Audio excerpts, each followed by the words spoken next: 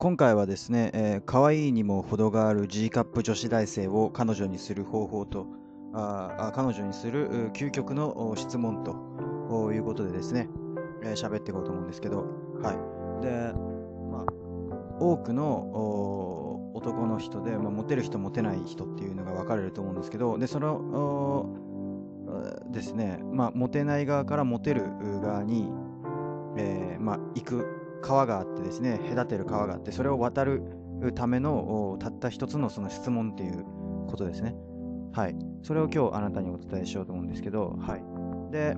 えー、その質問っていうのは、あ一つですね、えー、自分が女だったらお前と付き合うかっていうことですね。これが、あこのその川を渡るための究極の質問ですね。はい。で、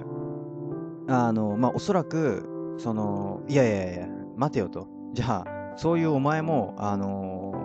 ー、おお前、お前がお僕に対してね、えー、女だったら付き合うのかっていうと、まあ付き合わないんですけど、でそこで言うことっていうのは、その自分に対して、その、なんていうんですかね、えー、客観的に見てくれという意味でのそういう質問なんですよね。はい。だから、あの、決して、その、いや、俺は、その、自分が女だったら、俺とは付き合わないよってどこまで努力してもそう思うなみたいなことではなくそれぐらい客観的に見てどうなのっていうところを、えー、僕はあ今回言いたいんですね。はい。えー、なので、まあ、常にですね自分が、まあ、女だったらその男の自分を見て付き合いたいと思うかなみたいなそういう視点を手に入れてくださいということです。あのだから清潔感がないといけないしあの、まあ、言動などもね、あの挙動不審だったりとか、あの自信なさげに喋ったりとかしちゃいけないわけですよね。このしちゃいけないっていうのはどういうことかっていうと、自分がじゃあ女だったら、えー、そういう男を見て、あのどう思うかっていうことなんですよ。その質問、そのための質問なんで、あの僕も実際にあの自分が女だったら僕みたいな男とは付き合いたくないんですよね。っていうか嫌いなんですよ。僕が女だったら多分嫌いだとになると思うんですね。はい。あの、だから、そう、それは多分自分の裏側とかも知ってるし、自分の汚い部分とかも知ってるしってことだと思うんですけど、だから、それで、それ、その自分が女だったら男と、そのお前みたいな男と付き合うかってことで自分を見て、それで、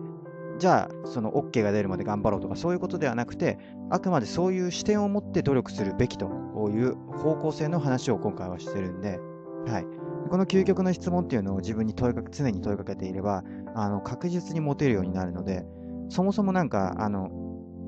モテないやつとかっていうのは襟好みしてる人が結構多いんですよね。でも、そういうやつに限って、あの、服装がなんかダサかったりとかするんですよね。まあ、あのー、なんだろう、鼻毛出てたりとかね、例えば。あ爪がにな黒いの挟まってたりとか、もう最低なんですよね。ナンパとかもそうなんですけど、なんか、その自分がナンパするのが恥ずかしいですってやつほどダサかったりするんですよね。はい。だから、いやいや、その服装で出歩く方がダサいだろうみたいな感じで僕は思っちゃうんですけど、そういうことが結構多いんですよ。本当に。そう。だから、ダサいやつほど女を気にすると。うん。逆なんですね。うん。かっこいいやつほど自分を気にすると。うん。そういうことです。だから常に、あれ、俺って今、ここの、ここの環境において俺ってどういう風に映るんだろうっていうのを常に意識していれば、あの、ナンパもできるようになるんで、はい。